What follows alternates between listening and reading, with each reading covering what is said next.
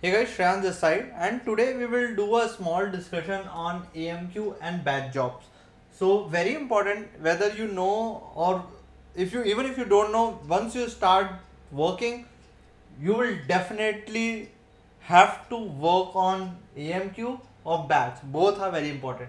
So let's start without wasting any time like what is the difference between them right and then we'll see like where actually they are used. So let's start with the batch job. So as the name say batch means इकट्ठा करना right in a batch. So whenever you have to perform some operation in bulk, right? That's where batch jobs comes into the picture. For example, take a use case that okay from morning to night I am accumulating things and at night 11 pm I have to initiate the batch and it will process all whatever the task is pending from morning to night right? And one good example is your bank neft when you transfer the money you will see that if you transfer at 11:35 now then in your bank it will come at 12 so after every half an hour the batch runs right? So it is keep on accumulating for what all user it has to transfer money. It not do instantly. As soon as you say that hey transfer money it not do instantly it will keep on accumulating. And after a particular time a batch runs which process all those tasks in a bulk. So that's where the batch jobs comes into the picture. Help to perform things in bulk.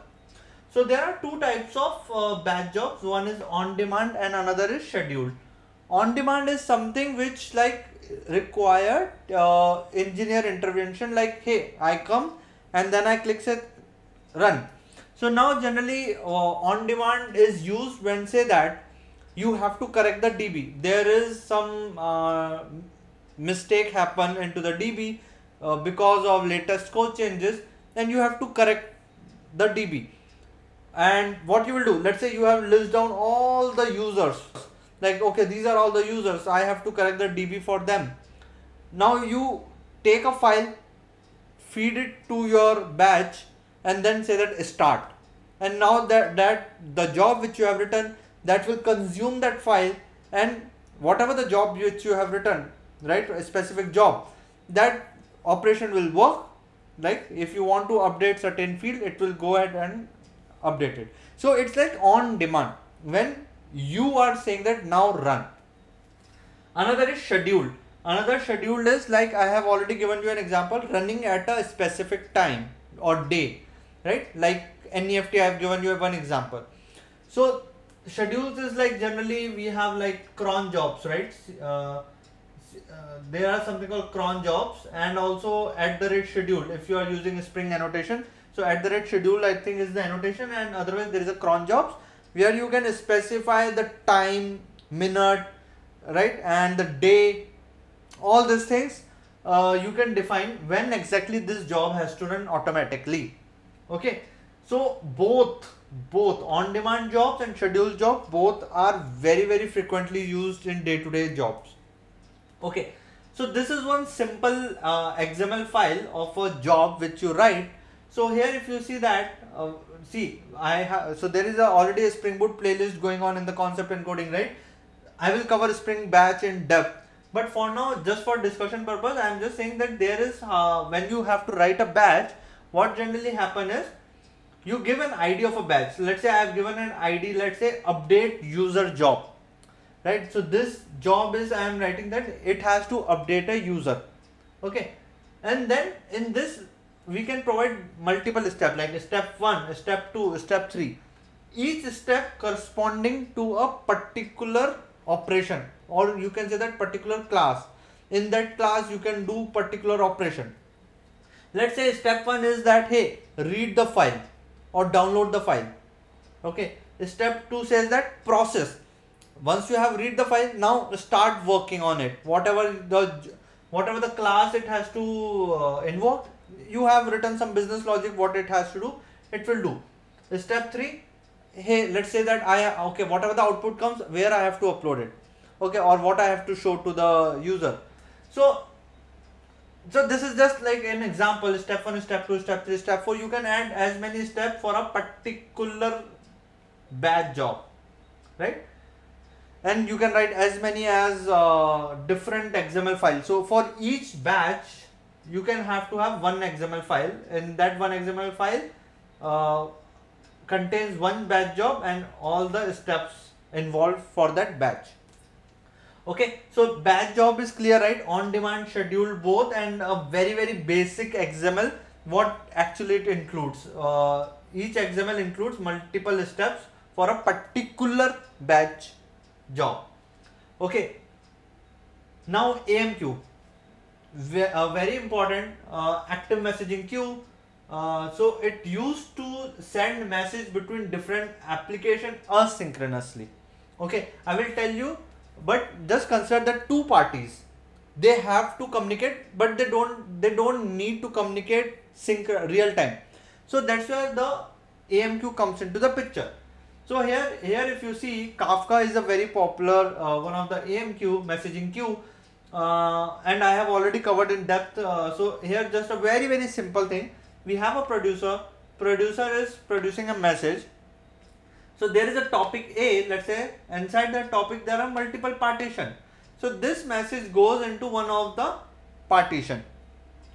So once the message goes to a particular partition, there is a consumer which has subscribed to a particular partition, right? So once the message is available to a particular partition the message would be read by consumer understand the difference as soon as message is available consumer reads try to reads it.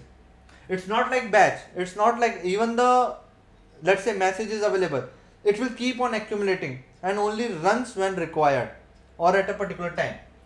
Here you can say that as soon as message is available it try to process it.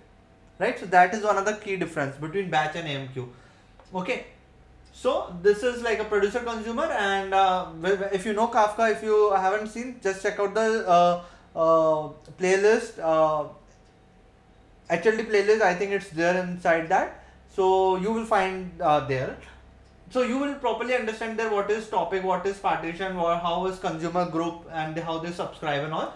But for now the what I wanted to say is that here the two applications, one is producer, one is consumer, they are talking to each other asynchronously through a messaging queue. So where exactly it uses? So see two places AMQ use a lot. First place doing post operation. Now let's say I am trying to add a user. I have added it. So I called an API add user and uh, user I have added now there are so many post operation which can be performed like I have to send a mail, right? So sending a mail can be uh, done via AMQ because asynchronously. It can take even 10 minutes 5 minutes we don't know. Uh, or maybe i have to keep on retrying also. So all these things it's a post operation user doesn't have to wait for me. Even there is minor delay it's okay.